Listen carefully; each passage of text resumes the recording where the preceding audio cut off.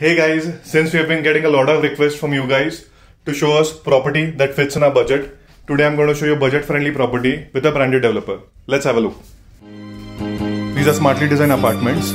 As you enter, you see a right hand side corner which can be turned into a puja room, library, or a bar counter.